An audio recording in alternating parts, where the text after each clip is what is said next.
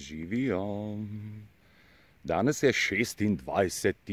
juli, kaj nada, gospodavega leta 2021. Še malo pogledati, ne, vidite, vidite, vidite, ampak ta ni ta prav, ta je vražji gobanček, ampak mačkan gor, kje pa so? Boste videli pa še ta druge. Vidite, ena, dva, pa potem tri, štiri, no, mačkam bolj temeljito pogledali.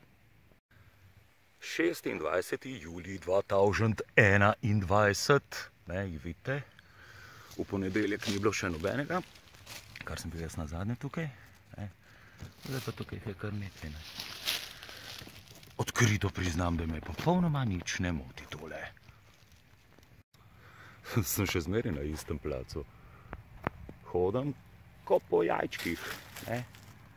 Mora biti človek kar previden. Pa kar takole ob pot, ne. Vidite. Je pa še vedno to 26. julij, a ne. Enega sem pa še naprej videl. On je pa res na poti. Ja pa si zgazil. Kje pa si? Vidite, je pa čist na poti, a ne. Ja. To je pa potka. Ajde, komarji.